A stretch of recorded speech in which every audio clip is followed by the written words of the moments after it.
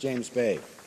Merci, Monsieur le Président. Je suis très fier d'offrir cette pétition qui vient de- des citoyens de la Nord-Ontario concernant le manque des inspecteurs fédéraux en santé et sécurité dans la région de la Nord-Ontario, que le Canada a réduit le nombre de ses inspecteurs euh, de 151 en 2006 et maintenant il est moins que 67. Dans la Nord-Ontario, on servi par un seul inspecteur dont le travail peut être interrompu en raison de blessures, des maladies et de l'absence. Par conséquent, nous prions la ministre du Travail d'augmenter les nombres des inspecteurs fédéraux en santé et sécurité dans le Nord-Ontario pour que le travail important puisse s'accomplir en tout temps sans interruption. Merci, Monsieur le Président.